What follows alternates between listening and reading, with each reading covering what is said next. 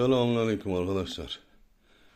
Şu gül gördüğünüz gibi çok e, dışarıdan büyüyen bir gül böyle pancar gibi.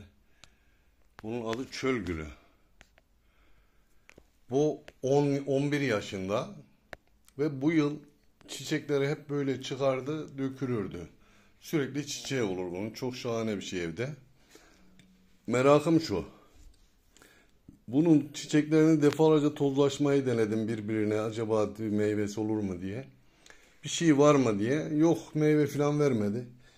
Yalnız bu yıl 11. yılda şöyle bir şey çıktı. Boynoz gibi.